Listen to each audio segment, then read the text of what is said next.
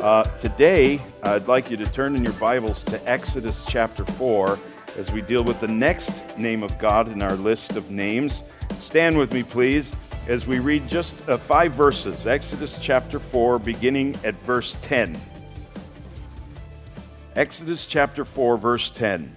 Then Moses said to the Lord, O my Lord, I am not eloquent, neither before nor since you have spoken to your servant but I am slow of speech and slow of tongue.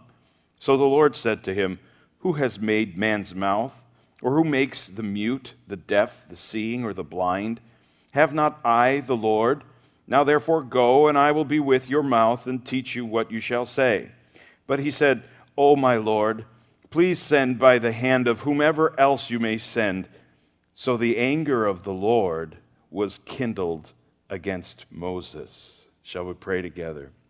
Lord, very uh, interesting verses, and we certainly want to hear from you what these verses mean and how we might be able to make sense of them for our time and for our day.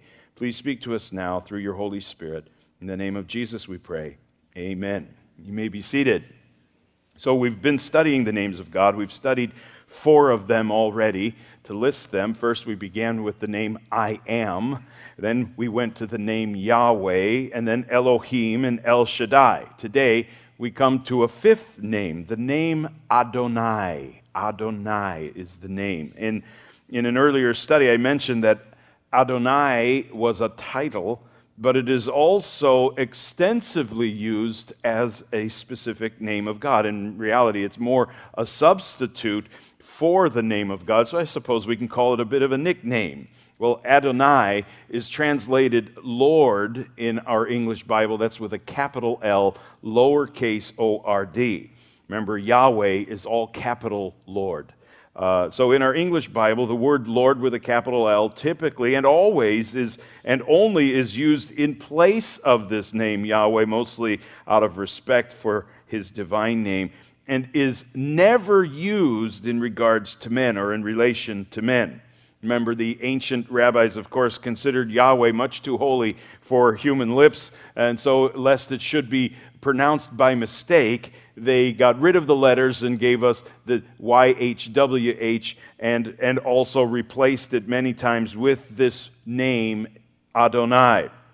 Now, Adonai is uh, actually a plural word. It's, uh, it comes to us in the plural form, in the plural uh, form of the singular word Adon. Adon. It doesn't have the AI at the end. Now, uh, the Greeks borrowed this Hebrew word when they invented their mythological deity, Adonis. Adonis. They remember Adonis. Uh, I found out this week, by the way, I am related to him.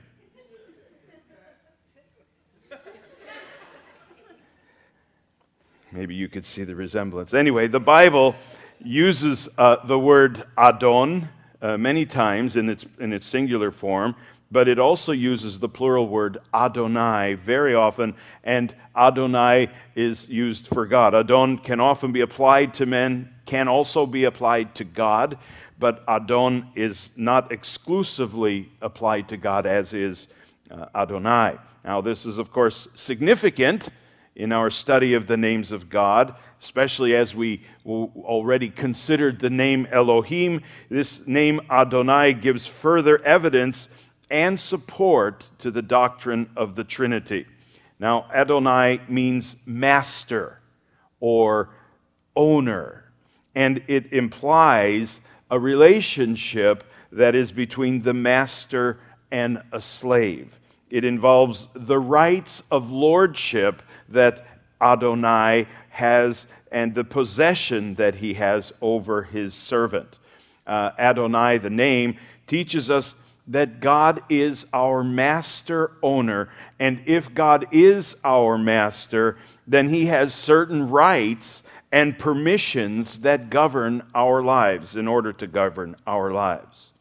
And if and when we might use this word Adonai, or when we call the Lord Lord, uh, we're speaking to God in relation to the fellowship or the connection or relationship that we have to God. In other words, we are admitting to Him His right of ownership over our lives.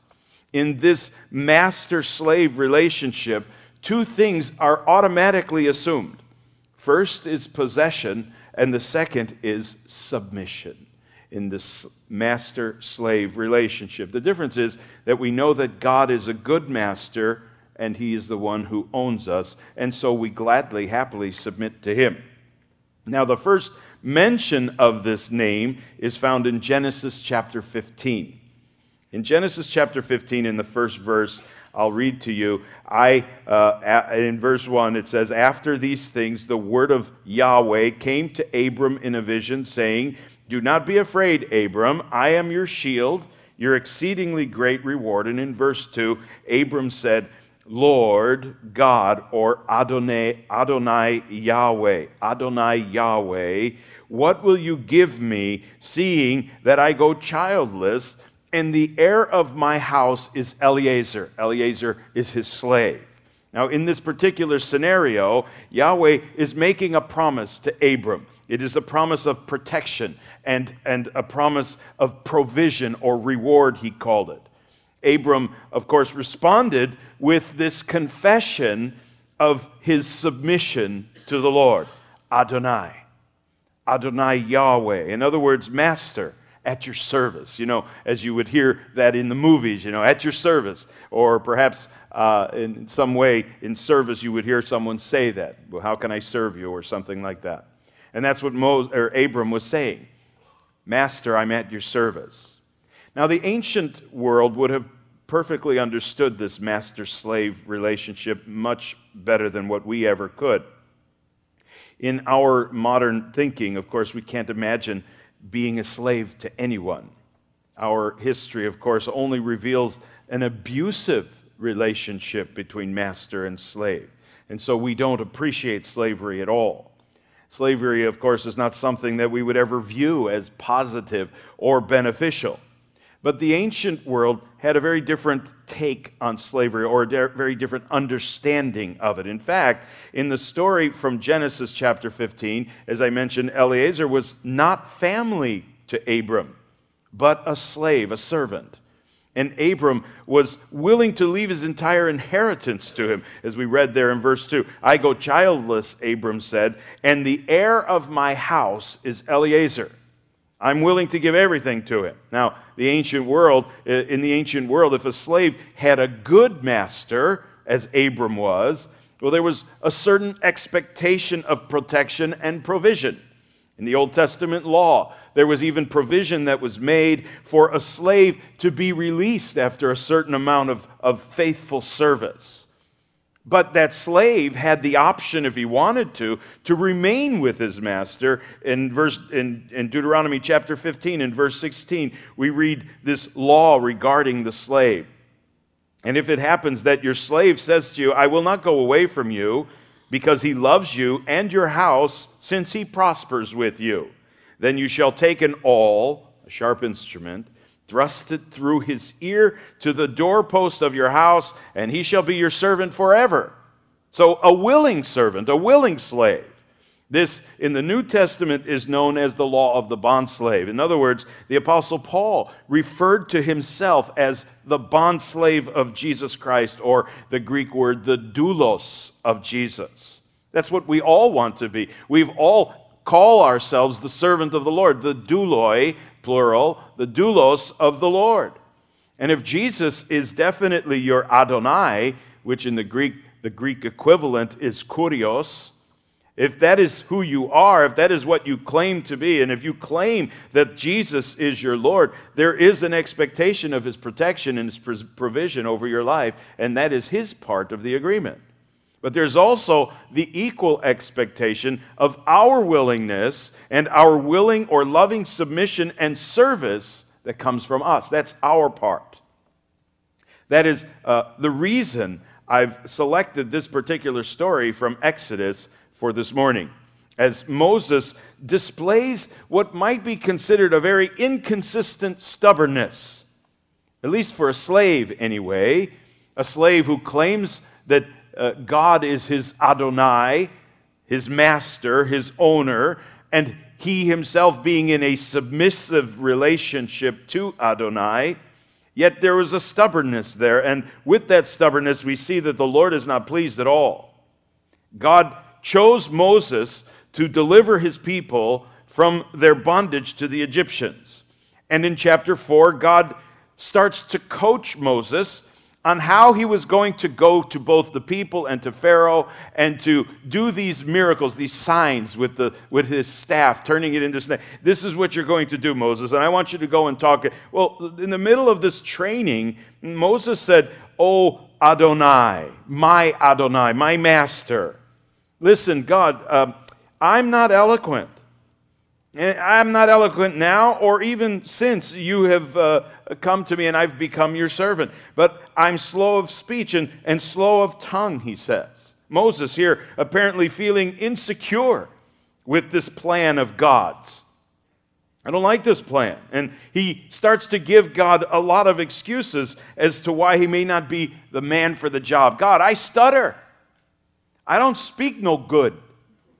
And if I don't speak no good, I don't want to go out there and make a fool of myself. They're going to laugh at me. And so Yahweh, needing to comfort his petrified prophet, in verse 11, the Lord said to him, Who has made man's mouth? Or who makes or, or heals the mute, the deaf, the seeing, or the blind? Have not I, the Lord?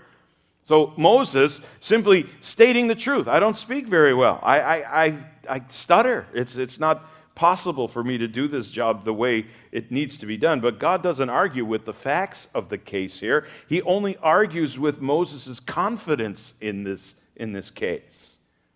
In other words, God needed to remind Moses to trust in God's ability to cure, not in Moses' ability to communicate. I'll take care of all that. Paul quoting God, said, My grace is sufficient for you. My strength is made perfect in weakness. And therefore, Paul said, Most gladly, I will rather boast in my weaknesses, so that the power of Christ may rest upon me. Therefore, I take pleasure in infirmities, in reproaches, in needs, in persecutions, in distresses for Christ's sake. For when I am weak, then I am strong. Or when I am weak, I trust God the most. When I think I'm strong, I'm too proud, I'm too cocky. I don't think I need God. That's when I get myself in trouble. and that's pretty much what God is saying here to Moses.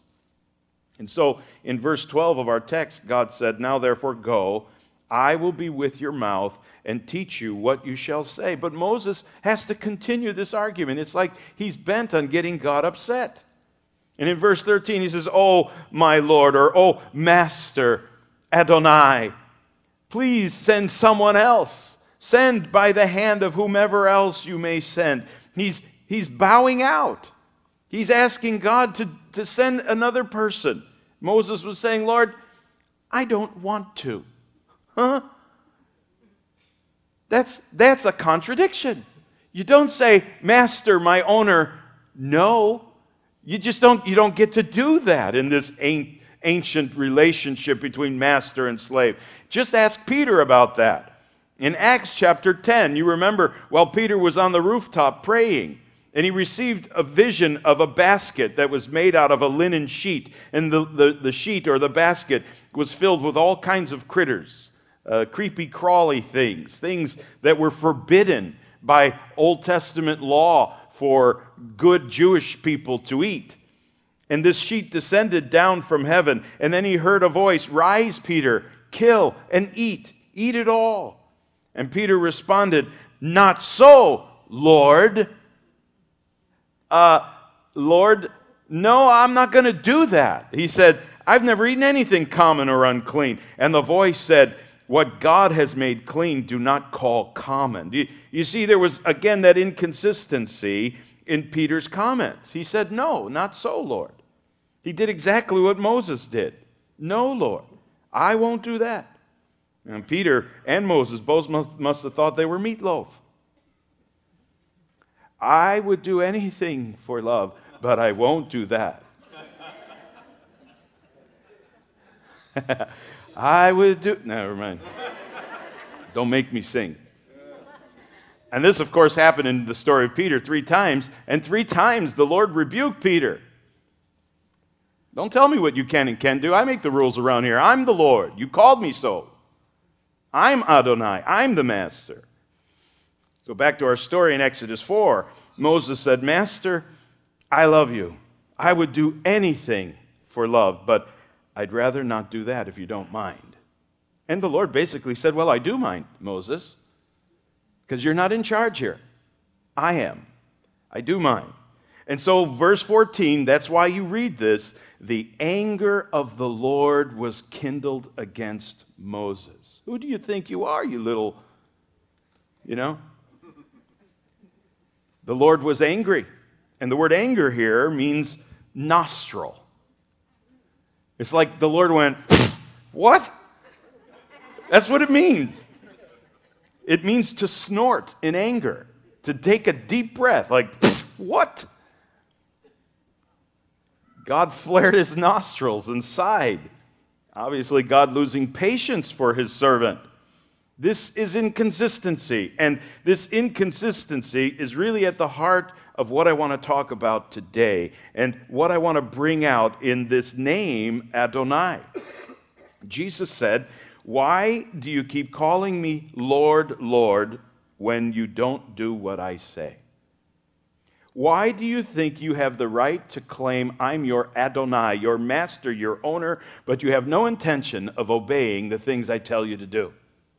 Do you see the inconsistency that is there? Jesus is frustrated with that sort of behavior. In Ephesians chapter 4 and verse 10, Paul said, Do not grieve the Holy Spirit of God. What that means is don't annoy God, don't frustrate him by resisting his will. And that's precisely what Moses was doing in our story. He was resisting the will of the Lord and behaving badly for someone who claimed that God was his Adonai. And that stubborn, excuse making resistance grieved God, frustrated God. And so God, who do you think you are? And it frustrated Jesus. And it frustrates him even still when we do it. In Philippians 2, I'd like you to turn there, if you wouldn't mind, to Philippians chapter 2, uh, a passage that we recently uh, covered. You know this passage. The Apostle Paul in verse 9 of Philippians 2 said, God elevated him to the place of highest honor and gave him the name above all other names, that at the name of Jesus every knee should bow in heaven and on earth and under the earth, and every tongue confess that Jesus Christ is Lord, to the glory of the Father. Therefore, my beloved, as you have always obeyed, so now, not only in my presence, but much more in my absence, work out your own salvation with fear and trembling, for it is God who works in you both to will and to do for his good pleasure.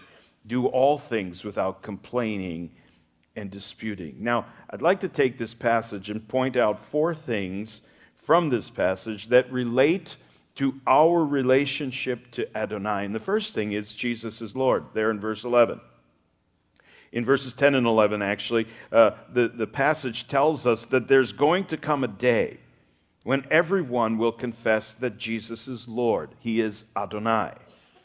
Now, he already is Adonai. He is Adonai over his church. He is Adonai over everything. He is Adonai, the master, the owner of the church, and the owner of anyone who belongs in the church. Paul said this a couple of times in a couple of ways. Have, do you not know that you are not your own? You were bought at a price. It is not I who live, but Christ who lives in me. There are different ways that he said it, but the, the meaning is the same.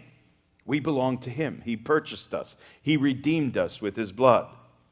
But in this passage, this passage in Philippians 2, it suggests that he is Lord over all things, even people who don't believe in him, even people who don't belong in the church. He is Lord over them as well. It's just they may not know it. It's just a matter of time they will know it. It's a matter of time that all mankind must admit to the truth of it. And unbelief will never change that. Unbelief cannot change it. We can doubt it, we can resist it, or we can reject it, but we cannot and will not ever change it. One day, every knee will bow and confess that Jesus is Lord. And the confession of doubting Thomas, you remember that, is exactly what will be replayed before God's throne over and over again. Thomas, of course, doubted and refused to believe in the resurrection of Jesus, remember, unless I see it with my own eyes. I want to put my fingers in his holes. But when he saw the risen Jesus standing before him, he simply confessed, My Lord and my God, Adonai Elohim. Paul said, If you confess with your mouth that Jesus is Lord and believe in your heart that God raised him from the dead, you will be saved. Romans 10 9. So if I'm to be saved, if we are to be saved, we must admit and submit to the lordship of Jesus Christ. That means I surrender my life and my freedom to him. I surrender. He is my master. He is my owner, and I am his slave, and I belong to him. My life is no longer my, lo- my own. I, I do as he commands me to do because he is Adonai. And that brings me to the second point from the Philippians passage. Paul said, You have always obeyed in verse 12, and that brings us to the point of obedience. Obedience, dutiful or submissive compliance. I yield to you. It is the act, the practice of yielding or, or obeying. Submission and obedience to Christ are at the center of a relationship with Adonai. As Jesus said, Why do you keep calling me Adonai, Adonai, and don't do what I say? On the flip side, Jesus said, If you love me, obey me. Obey my commandments. John 14, 15. So, to Jesus, obedience is, is simply and practically common sense. It just makes sense. If I, I'm your Lord, if you call me your Lord, and it's just common sense, you're going to do as I say. You're going to obey me. It just makes sense. And if Jesus is your Lord, that's the way we should think. Fortunately, those of us who do call him Lord, who do recognize him as master and owner, uh, we have come to discover that our master's yoke is easy and his burden is light because he is a good master. Extremely good. In fact, the psalmist writes this in Psalm 84, verse 10 Better is one day serving in your courts than a thousand somewhere else. I would rather be a doorkeeper, a servant, in the house of my God than to dwell in the posh tents of the wicked. For the Lord God is a sun and a shield. The Lord bestows favor and honor. No good thing does he hold from those who walk uprightly. O Yahweh of hosts, Yahweh of heaven's armies, blessed is the one who trusts in you. Blessed is the one who trusts in you. So, being a servant to Jesus is not only the best life, not only a good life, it's really the only life. It's the only life worth living. I like what uh, uh, the old hymn writer John uh, Sammis and, and, and, the music writer Daniel Towner uh, wrote in 1887 to that beautiful and beloved old hymn, Trust and Obey. Do you remember that one, some of you? Sums up this, this idea perfectly. The first verse in the chorus when we walk with the Lord in the light of His word, what a glory He sheds on our way. While we do His good will, He abides with us still, and with all who will trust and obey. Trust and obey, for there's no other way to be happy in Jesus but to trust and obey. Beautiful old hymn, because Adonai is a good master, and we serve Him. We serve Him. The third point I want to uh, bring out from Philippians chapter 2 is that we are to work for his good pleasure. Verse 13, that we work for his good pleasure. God working in us to bring a, a pleasure to him. And as I said, we don't like slavery. It goes against everything we know and understand to be decent in our civilized way of thinking. And we'd have to be crazy to think that, that human slavery is or ever was a good thing. So we really need to approach the subject of slavery, uh, even Christian slavery in this sense, slavery to the Lord, in a very theological or very spiritual mind, with a very spiritual mind. Theologically speaking, spiritually speaking, we are already slaves, theologically.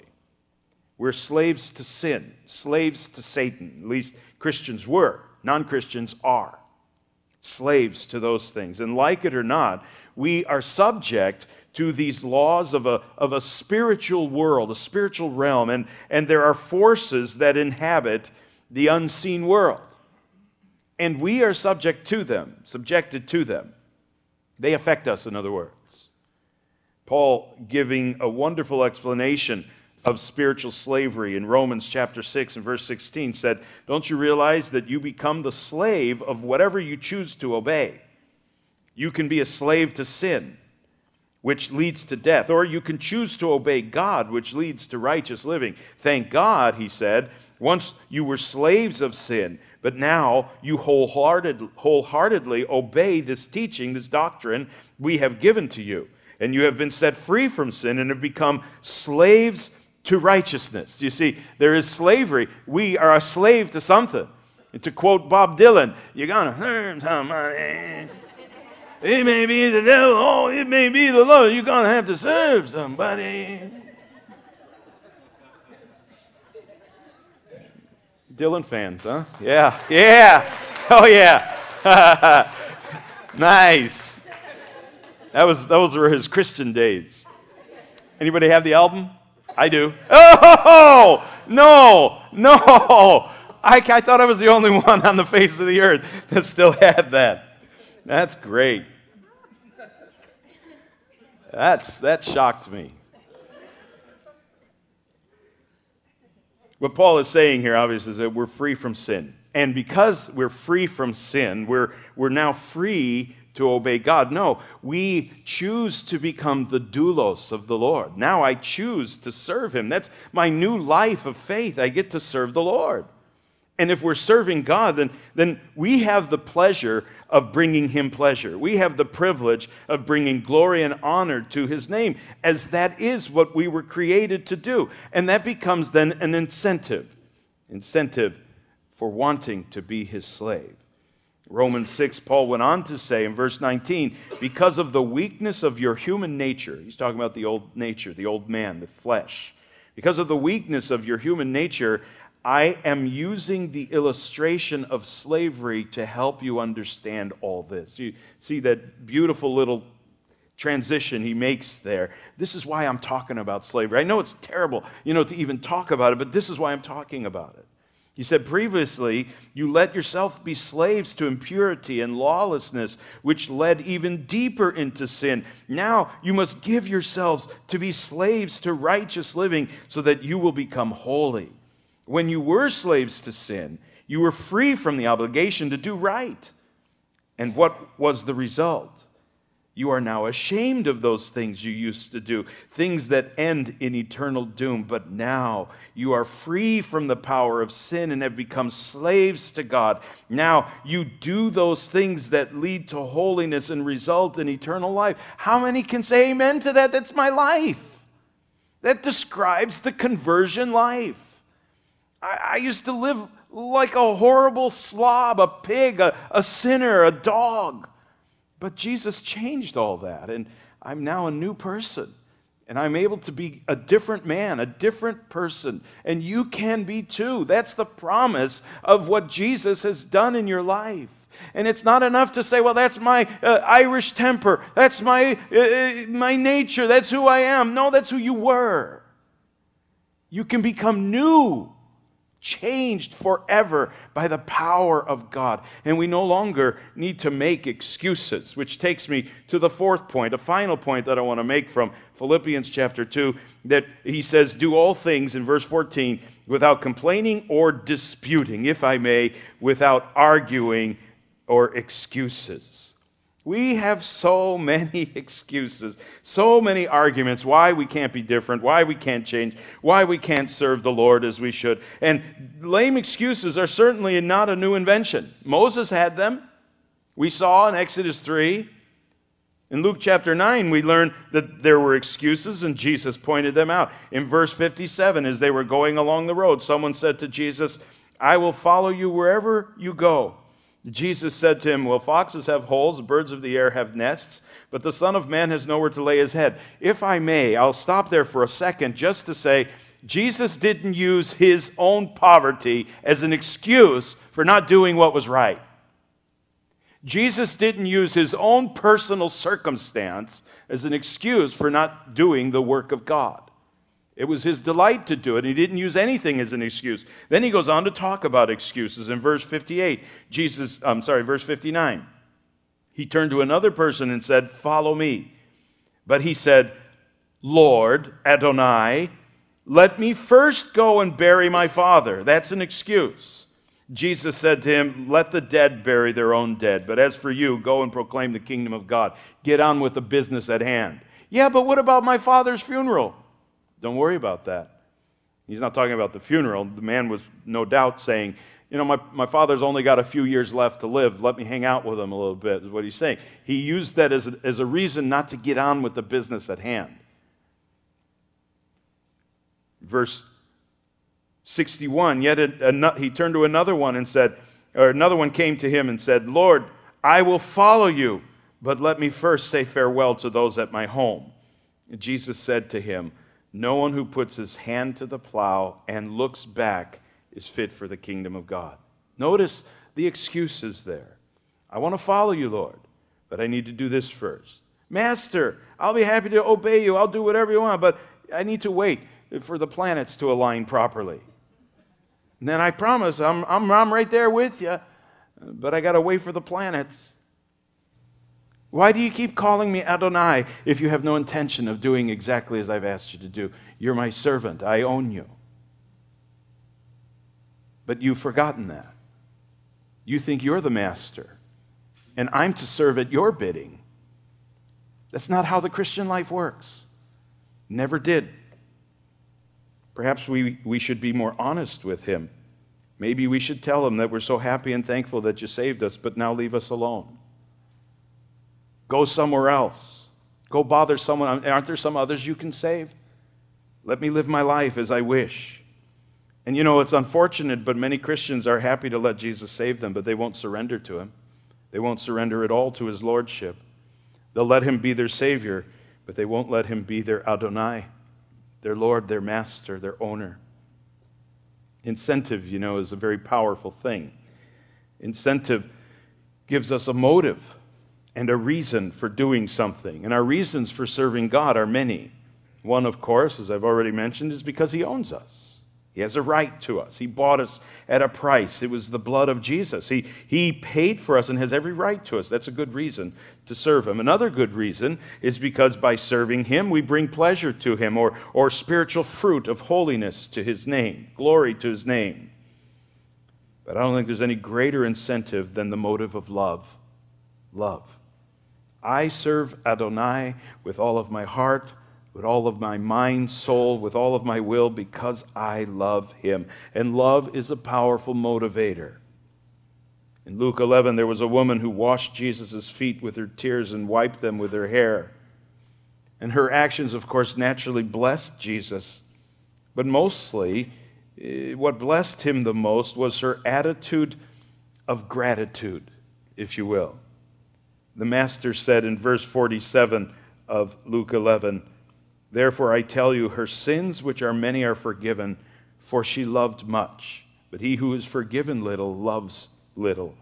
Now, her genuine love, mixed with this incredible sense of gratitude, drove her to the feet of Jesus, drove her to, to place herself at his service. Master, I'm yours. And since she was forgiven of her sinful life, forgiven so much, he says, She loved me much and gratefully surrendered herself to Jesus. Love for the Master, the good Master, compels us and is a good motivator.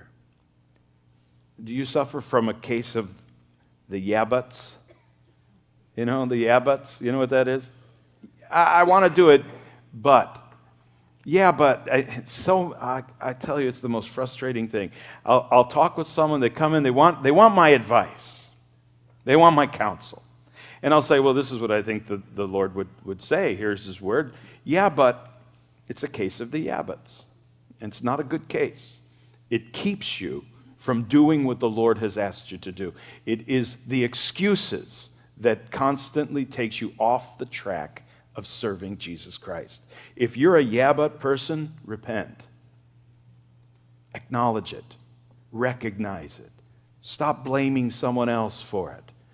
Listen, admit to what Jesus has already told us. We're sinners. That's why he died. And to say, John said in first chapter of his, his first epistle, if you say that you have no sin, then you make God a liar. What did he die for? He died for your sin. And if you don't think that you're a sinner worthy of that, or that you can claim that, then you've got the wrong message. Lord, I'll follow you wherever you go. But first, I have something to take care of. What, what might it be? What is so important that would keep you from serving Jesus? Is it your girlfriend? My girlfriend's not a Christian, so I can't serve you. Really? Sounds like you need a new girlfriend. Sounds like you need to save your friend. My boss makes me work on Sundays. Why would that prevent you from serving Jesus at your job on Sundays? Nothing should prevent you from serving Jesus. Lord, I'd love to serve you if you let me win the lottery.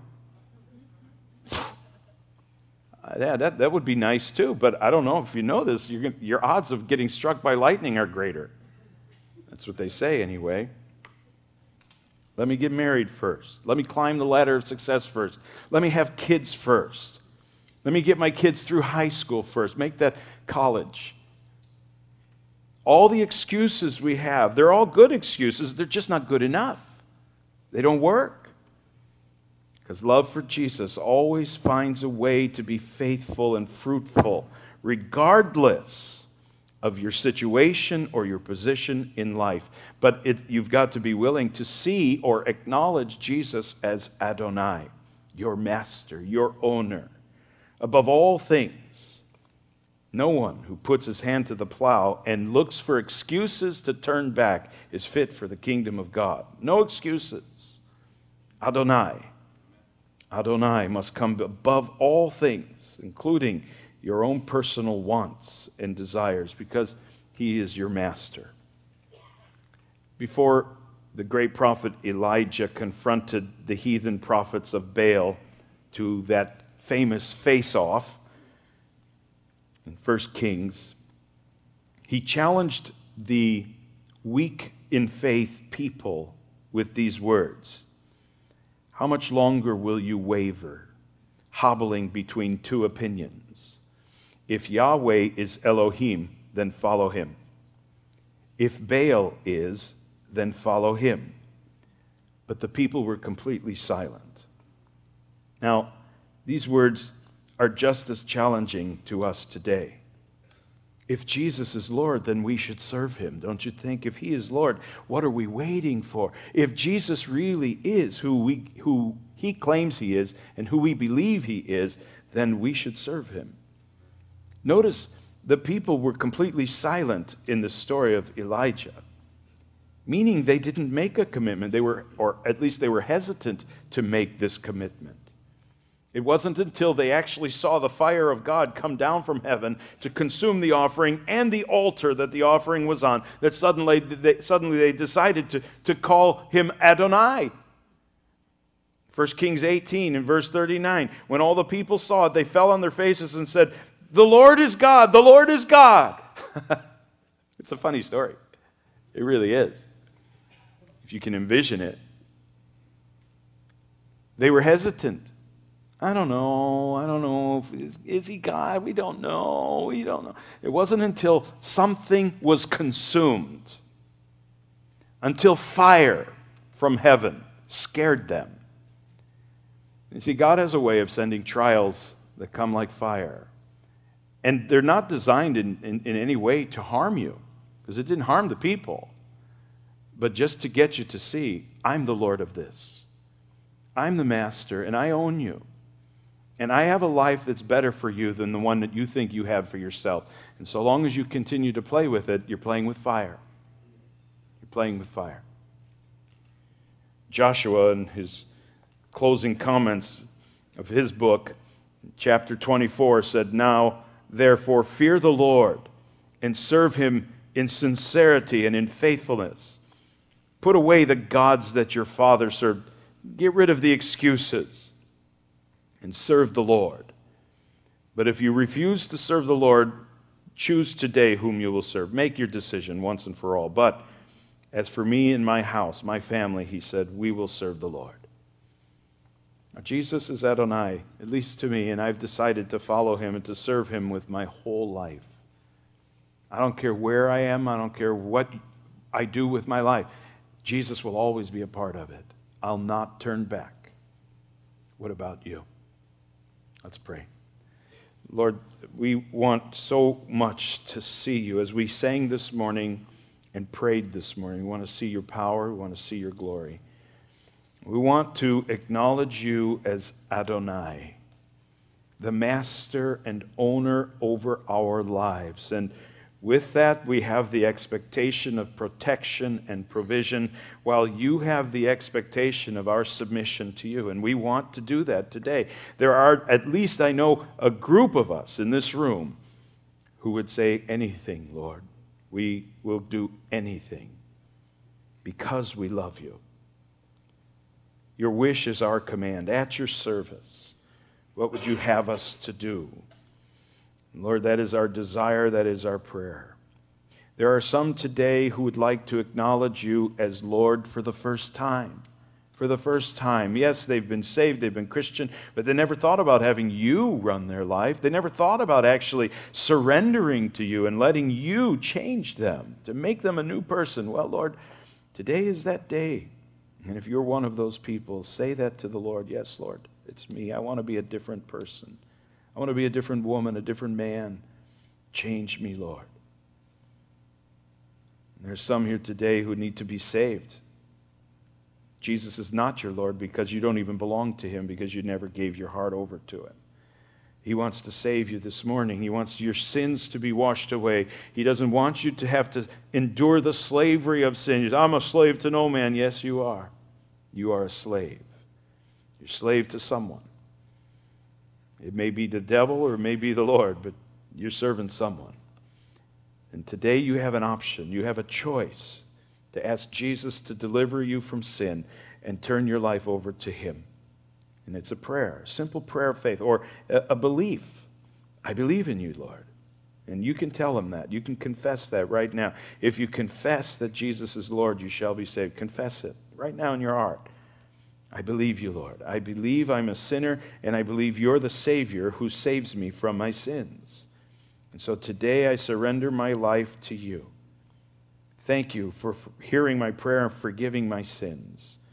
Today, my name is in the book of life, and I want it to remain there forever.